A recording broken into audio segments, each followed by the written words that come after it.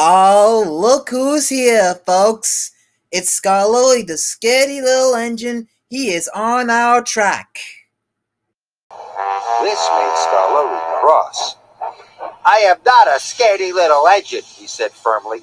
And if you biff me, I'll biff you back. So there. Oh, okay, okay. I'll do whatever you say. I promise.